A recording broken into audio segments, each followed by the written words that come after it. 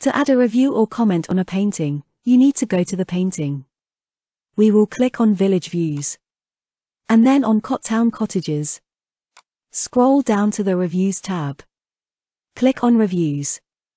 Add a rating by clicking on the stars. Add your review comment.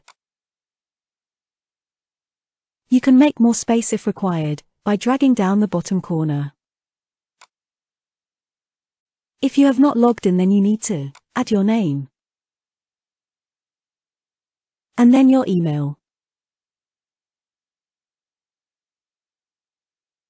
You can opt to save your details for future comments.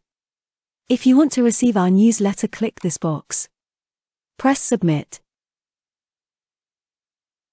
If you haven't logged in then your comment will need to be approved before it appears on the website. Don't worry. We want honest reviews. Good or bad. We just check for spam comments. You will see your message is awaiting approval here.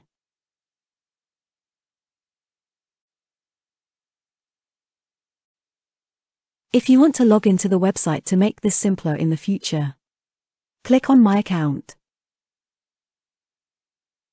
Add a username or nickname to use on the site. You can't change this. Add your email and a password. You need a mixture of upper and lowercase characters, numbers, and symbols for a strong password. You can opt into our free monthly newsletter if required. Press register. To log in, go to My Account page. Enter your username and password.